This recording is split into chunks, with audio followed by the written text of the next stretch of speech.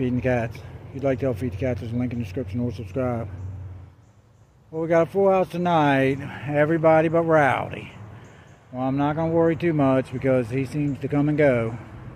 So wait till he misses a few before I get worried. But uh, everybody seems kind of hungry and the babies are getting their dinner. So thank you for watching.